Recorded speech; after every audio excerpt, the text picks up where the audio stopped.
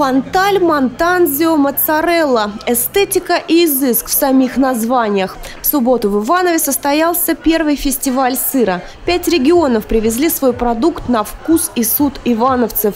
Местные производители тоже широко представлены. Я считаю, что Ивановская область уже вышла по количеству производителей сыра на тот уровень, когда действительно можно для своих э, предприятий и для своих хозяйств сделать такое мероприятие и приглашать э, наших соседей. В Ивановской области порядка 20 производителей сыра. У всех разные ассортименты, объемы. На прилавках Риата, например, можно встретить 12 сортов этого молочного продукта собственного приготовления. Как варится лакомство, публике готовы продемонстрировать прямо на улице. В этой 120-литровой машине будущий сыр качотто. С утра мы приехали, залили молоко, пропастеризовали его, охладили, внесли закваску и сычужный фермент. Сейчас происходит коагуляция. Через 30 минут мы посмотрим, э, произошла ли у нас коагуляция.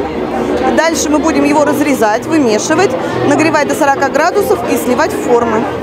Фермер из Юрьевецкого района привез на фестиваль 7 сортов сыра из козьего и коровьего молока, а еще хлеб, домашний, бездрожжевой. Масштабы производства, конечно, небольшие, зато продукт качественный, приготовленный от души мы микробы просто вот из, э, по сравнению с, с крупными производителями я произвожу там 10 килограмм в день сыра. Это ничто, конечно.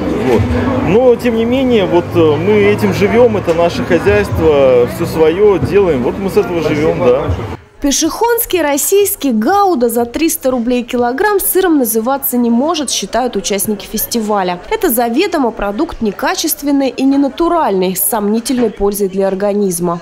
Я думаю, что минимум он должен где-то стоить рублей это от 800 рублей. Это будет стопроцентное молоко, не восстановленное, без консервантов, без ничего. Вот, а, наверное, вот такие вот сыры будут самыми правильными, от них не полнеешь и э, отличный вкус и здоровая пища. Дольше будешь жить.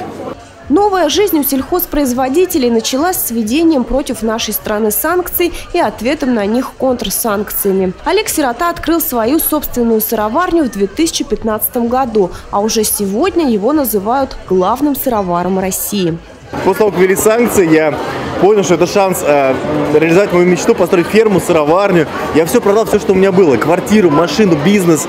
Переехал э, на поле э, в палатку с козой, начал строить сыроварню. И э, прошло три года, и сейчас наша сыроварня встает уже крепко на ноги, и мы даже думаем э, об экспортном э, потенциале, чтобы не просто накормить наших отечественных земляков, а еще экспортировать нашу продукцию за рубеж, э, чтобы нам покорились рынки Берлина, Парижа и Мюнхена. Это моя мечта, и мы к ней идем. Фестиваль сыра у ивановцев вызвал бурный интерес. Десятки горожан уже утром в свой выходной день дегустировали и покупали сыр. А это значит, с мероприятием угадали. Его обязательно повторят. Елена Белова, Денис Денисов, РТВ Иваново.